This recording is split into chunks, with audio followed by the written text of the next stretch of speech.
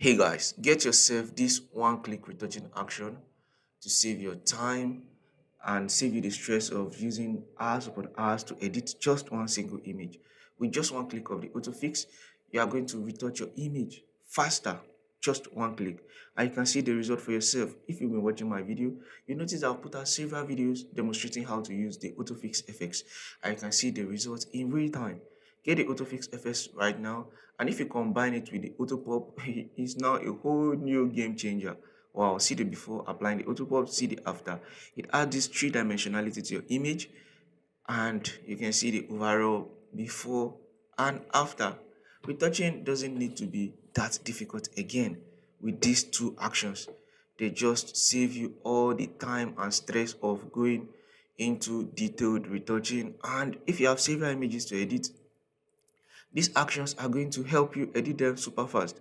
Once you're done applying this action, you can now go on to fine tune with any of your brushes like uh, you can use a spot remover to remove any acne or pimples that is remaining on this image. If you zoom into this image, you can see that these actions preserve the quality of your image. It doesn't destroy the quality, it even adds this beautiful sharpening to your image. Get the action right now that comes with the video guide on how to install and properly use it and also comes with some bonus actions that will help you edit faster.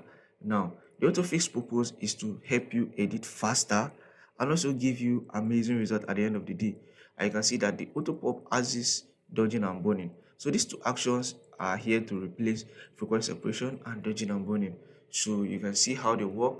I can see their before you can see the after and for yourself the result is amazing. Check the link in the description right now or check the link in the pinned comment to get yourself this action and retouch faster and easier. And for beginners this is the best step to take in editing your images so that you can focus on other creative aspects of your retouching.